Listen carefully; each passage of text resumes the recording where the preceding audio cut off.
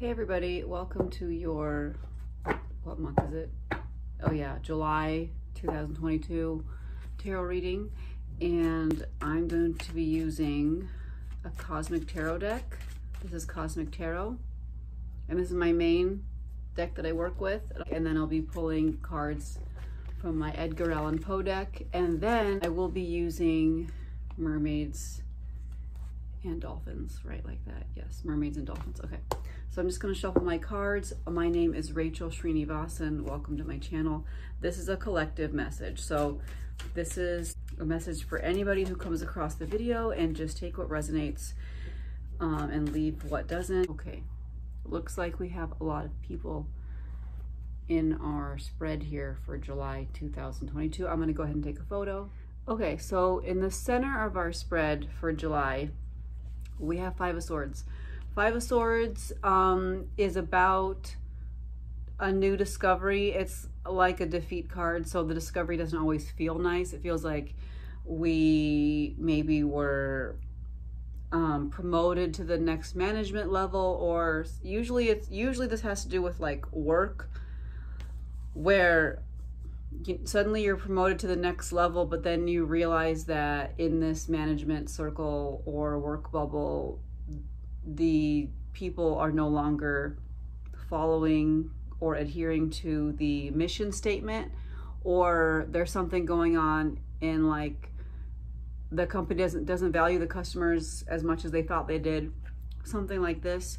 So it's called a defeat card but it's not like you're in a soccer game and somebody wins and somebody loses it's a defeat as in like new knowledge is presented that you weren't really prepared for um something like that. Like maybe you took a class and then you started learning about something that you really didn't know what this class was about or something like that. Like it's just new information that's presented. It doesn't always feel good okay? So that's five of swords. Fives are about change okay?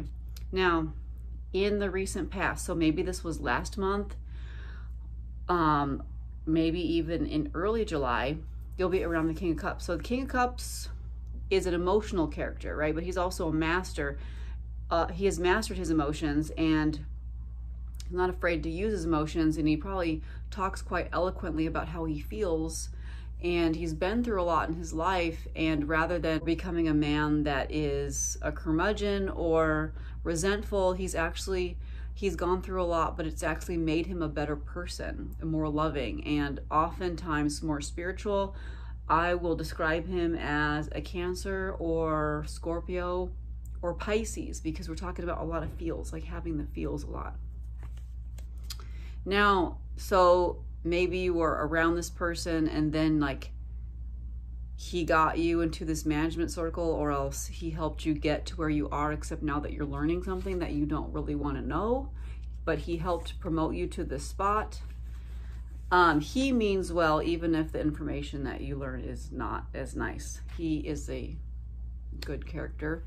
Now, in the near future, we have the Hierophant, which means like sometimes it can mean government or officialdom of some sort, making something official.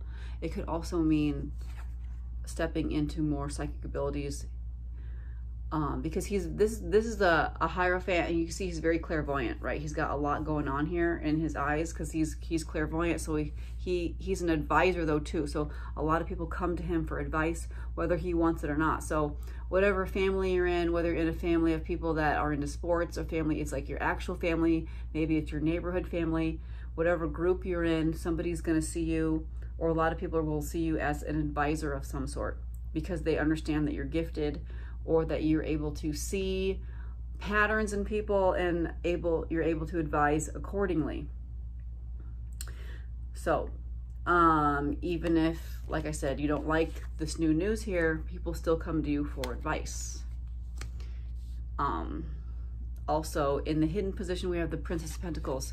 This can be a daughter who is very good with plants and animals and opinionated about money and how money is spent because she's a princess not a king or a queen, so she's not usually making a lot of money, but she's good at saving it. Also, um, very family oriented.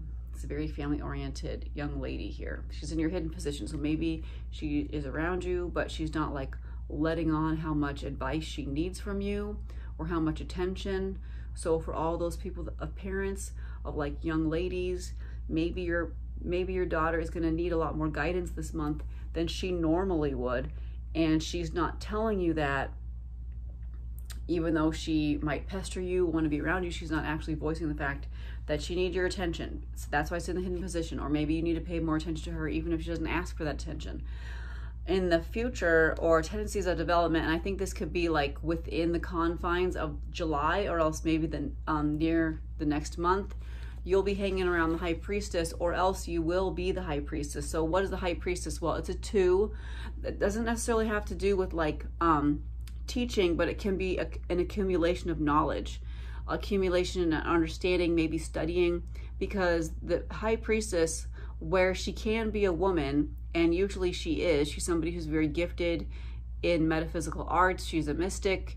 Um, she's not necessarily a teacher though, because she will hoard information. She has the archetype of being like a cloistered nun. So she's usually with a book here. So from Alpha to Omega, she studies a subject from beginning to end, and she's a little bit mysterious. So you will be hanging out with her near the end of the month or else you will be more embodying this type of energy. So congratulations to you, except that you're probably not gonna like teach this information. You're just gonna be sitting with it.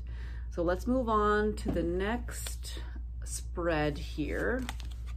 So the next spread will be with Edgar Allan Poe. Edgar Allan Poe. Gotta be honest, not a super big fan of these cards not a big fan. I'm going to go ahead and take a photo. All right, so Ten of Quills.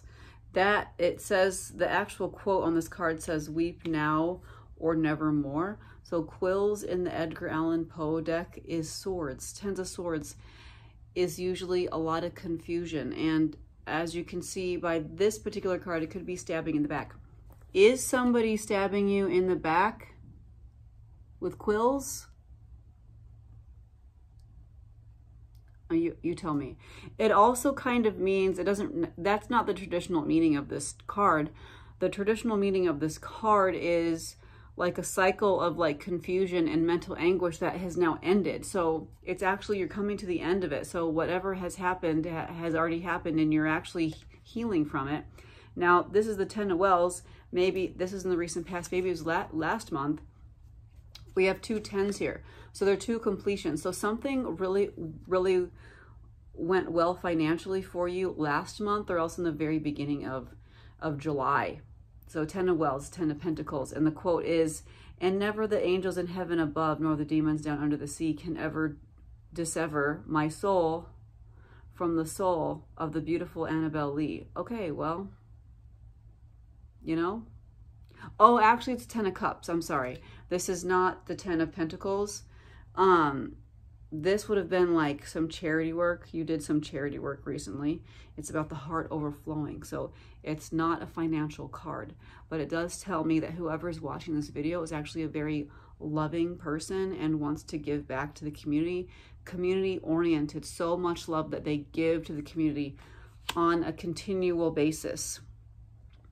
But I am sorry about all this confusion that's happening now because it seems to be some mental anguish. I always recommend meditation, people. Three of Quills. So Three of Quills would be the Three of Swords. And this is closer to the end of July. And this is a heartbreak card. I am very sorry, but sometimes separations happen and they are um, needed because endings are beginnings this could this doesn't necessarily mean a breakup or separation, but it it can mean a loss. But the void within my heart refused, and even thus to be filled, I longed for the love which I had before, filled it to overflowing. Yeah. So, yeah, you can see she's crying. Okay, so a sense of loss, a sense of heartbreak at the end of the month here, end of July. That might be a good thing because we have a lot of confusion here and we want to end it. We want to end the confusion. All right. Queen of Wells. This is the uh, Queen of Cups. Yes. Um, I'm going to read this. This is the Queen, Queen of Cups. She's in the hidden position. So we have a woman who is a Scorpio, Pisces, Cancer, who is very emotional. She's also very loving. She wants to be adored. Um, and she um, loves to adore other people. So if she's a mother, then she's going to be very affectionate, okay? And constantly tell her children how much she loves them.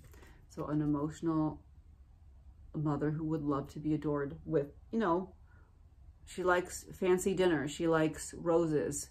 She likes to be treated well and pampered.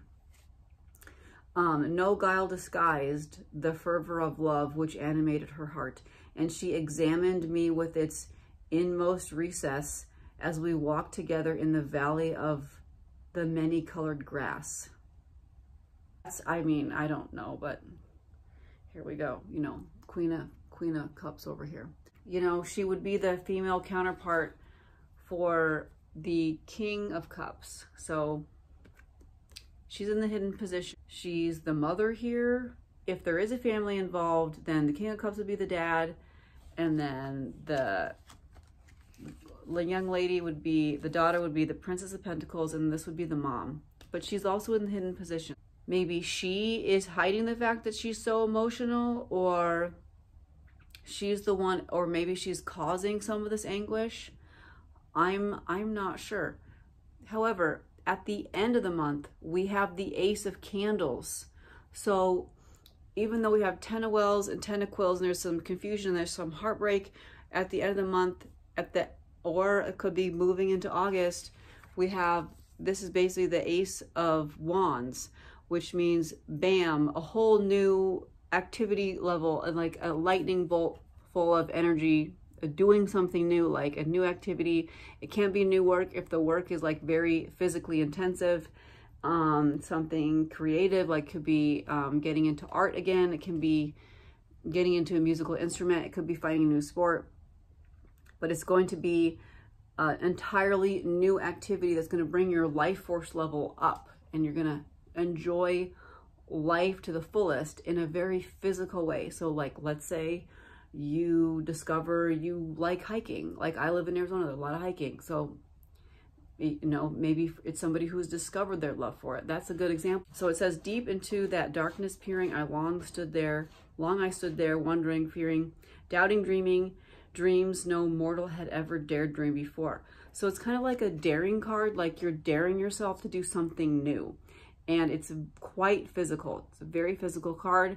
Now, candle, like it's very symbolic about you know, a zest for life about sparking something new in your life. So although we have 10 of quills and three of quills, which are sadness cards, it's, you're going to be starting a whole new activity. It's going to be really exciting. Now, time for a summary card from um, Mermaids and Dolphins. You're being helped. You're being helped. I'll take a photo of this.